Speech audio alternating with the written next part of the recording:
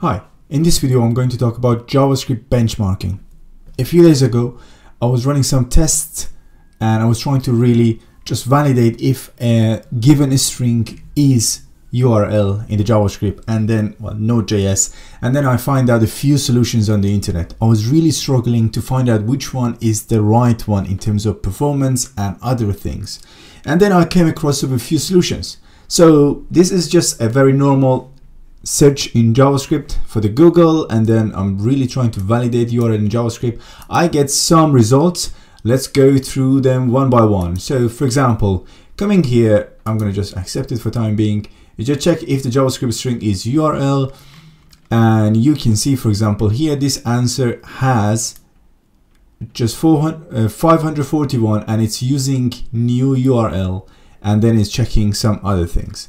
Moving on, then there is one more which is really using regular expression or regex. And then if you just move on, you can see people are debating on different things and let's use this one, let's use the other one, etc, etc. Even like if you go to other websites, for example, here we have kind of the same things. They're just saying this is ex regular expression and then then again, regular expression, they have new URL and really more and more. So I'm just really confused by now which one is the best one. And again, moving on, pretty much most of them are copy and paste from one place to other, but you get the idea. And then I find out, you know what, I really need to just put a benchmark and find out which one is faster. Obviously, there are difference in terms of which one is doing what or which one is helping me with my test case, but we will put that one aside at the moment and we think we have a regular expression and also using a, a JavaScript method. So you get the idea and we, we, can just test it with different things as well. So first thing first is uh, we like I found like this benchmark JS library and then I can just run a benchmark on these two solutions and we can find out which one is the best one. So it's very simple. All we need to do just to really add uh, package.json to our repository and then npm install, uh, what was that? It's benchmark, yes. So npm install benchmark. And once this is installed, I am going to also create a file called index.js Good. So let me open it in Visual Studio Code. I have it in Visual Studio Code. I'm going to open this one and really close the rest. Let's ignore this one and this one. Okay. I will also on the left side, I'm going to put my uh, terminal to go through the solution and run it together. First thing I need to do is to just import the benchmark, create a suite, and then move on. So what I'm gonna do is actually fast forward the video so you can see what I'm doing and then get to the fun part.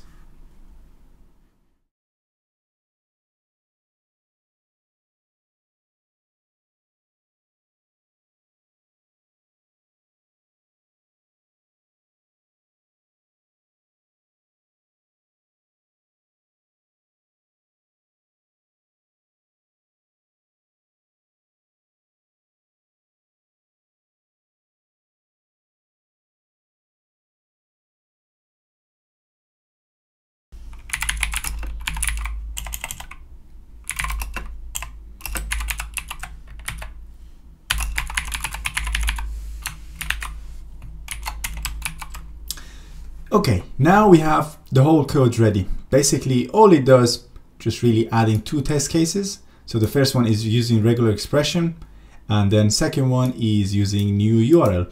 Basically, I want to make sure if the given string is valid URL. Okay, so next step is to just it. So it will be node, then index.js. So the moment we are running it, you can see what is going to happen at the moment. So with a regular expression, we ran 18 million operation per second. with the new URL, we could only do 641,000. So you can see the fastest would be a regular expression. Now it can just, it would be a little bit different if we have a different regular expression, as I said, but I'm gonna stick with this one. It's very interesting to notice a few things. First thing is, well, looking at this code, it seems maybe less readable, but the performance is way, way different and better to compare with just the new URL, uh, which comes with JavaScript as, as a native like uh, classes you can create. So you can create a new URL with the given string, yes, but you can see the performance is very different. Uh, if if it comes to the readability, I might go with the second option, but if it comes to performance, I need to go with this one. So there is really now a time to make a decision. What is more important to you? And how often are you gonna run this piece of code? If, for example, your API is gonna just run and validate this one once every, I don't know, a few seconds or once once a second, it's not really a big case. But if you're going to run this one a few million times per second, for example, you have a big array and constantly you need to really check these values and make sure this is a valid uh, URL, then then it's different. So you know when to use it, you get the idea. And even we can go even more crazy and find out what is the different type of like regular expression because you know we can just use the regular expression with new regex and then let's see what we're to get from there. So I'm going to copy and paste literally the second one. And here I will say, I don't know, const regex. It will be new reg regular expression. And all I have to do, paste the regular expression inside the parentheses, sorry, here. There we go. So now I have regular expression on the top line, line 10, and then all I have to do is to just test it like this. So the first example is that I'm using it in line. The second example is I actually create a regular expression object and then test it against that. So this is, let's call this one in line, and then the second one would be, for example, with new reg, reg regular expression. So let's run the test one more time. And now you can see the difference. Even though these two pretty much are doing the same thing, but you can see the output will be very different based on how we're really going to use regular expression. So the speed is also very important. There we go. So now we have the inline one, which is 18 million operation per second and then the other one which we created a new regular expression then tested against that would be 4 million. Still is way faster than using the new URL the test case number three here.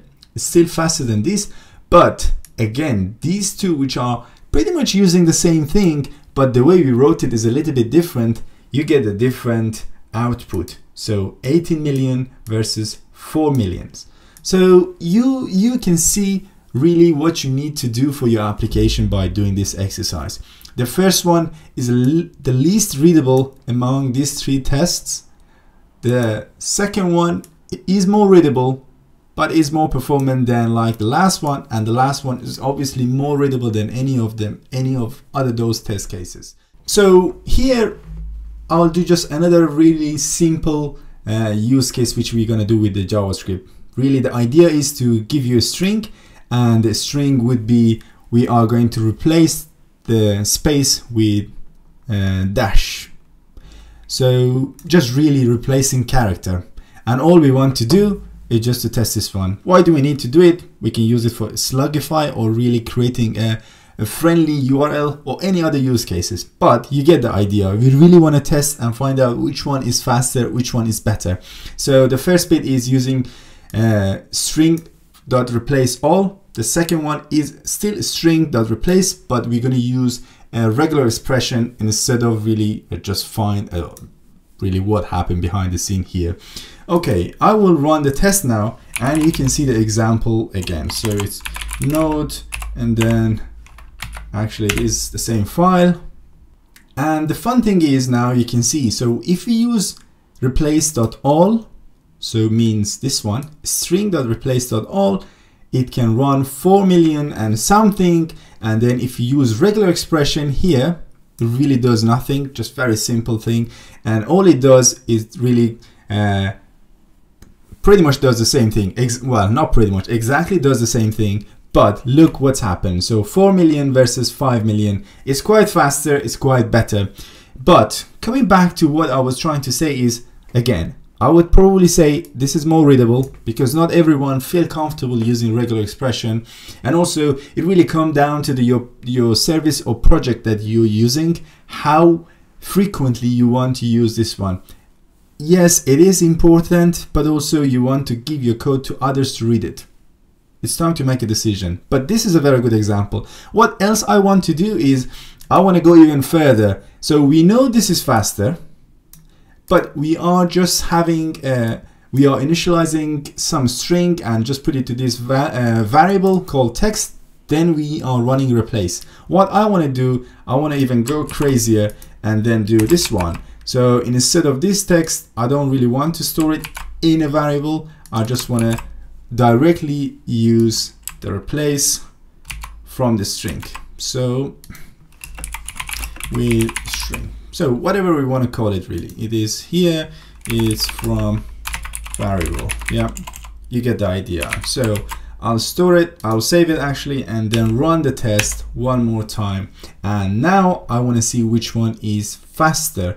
I'm very uh, sure that I'm, I'm sure this is going to be faster because there is no initialize, uh, initialize or assigning value, but let's see how faster it will be. So this is from value. It takes like 5 million something and this is with the string. Okay that was a surprise. I don't know why but let's see.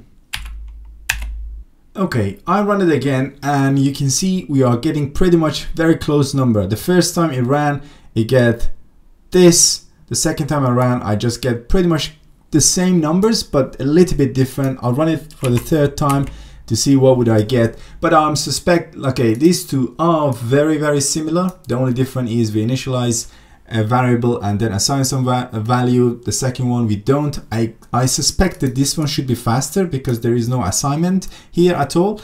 But really, it really depends on a lot of factors probably behind the scenes. So the first time uh, with a regular expression and variable, the second time with a string, and the third time is actually think both of them are pretty much the same thing. As you can see, is 5,000, sorry, 5 million 430 434. So it's very, very close. It doesn't matter. Both are very fast. If I stop this one, probably we're going to get now one. The reason that you, you see just both of them as the fastest one, it's because it really these two are very close to compare with the other one so but now these these two are very similar.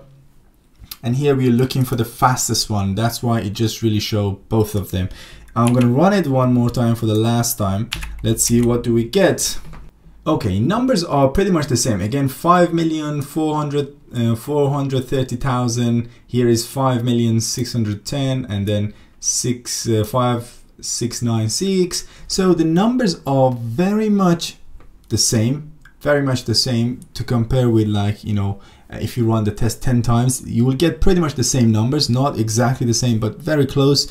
And then again running it a few times we can see the fastest is with replace regular expression uh, with a string so which is this one. So really the whole idea is to find out what is the most performant or the, what is the best function with the performance and then choose it for your code base if you have to go that route. If you want to go with readability, for example, that, that this example is more readable. If you again want to be more readable, maybe you should go with the one which we were talking about a few seconds ago. So we have a string, we are using replace.all. It's very easy to read, it's really easy to understand. That's a modern JavaScript, but what is happening behind the scene, maybe it makes it much slower. As you can see, we're just talking about 4 million and then so it's 4 million and then 5 millions. Or the other examples which we had so using really regular expression or using new URL depends again readability versus performance or maintenance versus performance testing versus performance. There are a lot of factors when you're going to choose one of them. But long story short, this is how to use benchmark.js as a library and then how you can just check your code for the performance. Thank you so much for watching this video. If you enjoy watching this kind of videos and learn something, please don't forget to like, subscribe and share the video with whoever may benefit from this one.